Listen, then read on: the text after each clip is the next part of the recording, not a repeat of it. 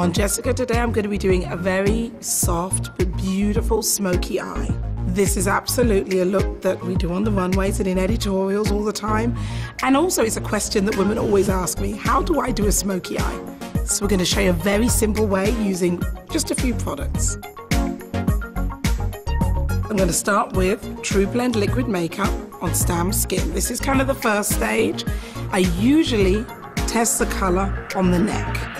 Then I blend the foundation up into the hairline, making sure I get behind the ears. I like a mixture of sponge, fingers, and brush. I'm going to continue to get the foundation to be very seamless on her skin, very perfect. And that's the one thing we do love about TruBlend is the fact that it does go on very easily. Feels good, right? Usually once I finish blending the foundation out, you must always use a concealer. And I'm going to use CoverGirl Simply Ageless with the brush up to the bottom lashes, in the inner corner of the eyes. This is where a lot of the darkness is around the nose, just to pick out any shadowy areas. Okay, perfect. That's your base. The first step in creating a smoky eye is to start with the pencil. I'm going to use the fabulous Liquidline Blast pencil in Brown Blaze. I love this color and I love this pencil because it goes on very easily.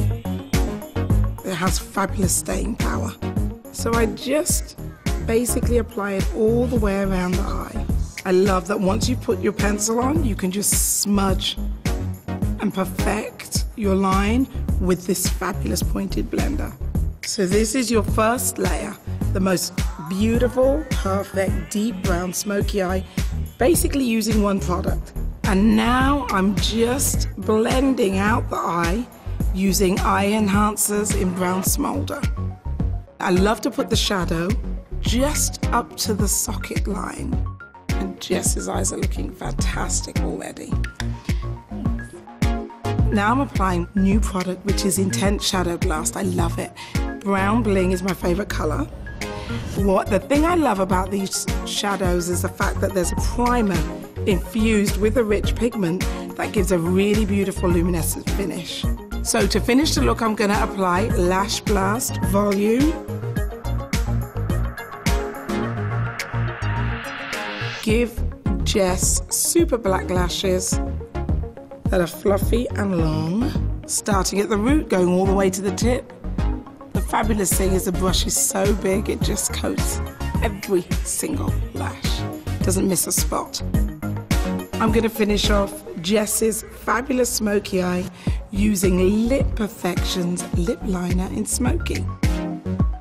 So now I'm going to apply a perfect nude lip on Jess. And I'm using Delish from Lip Perfection.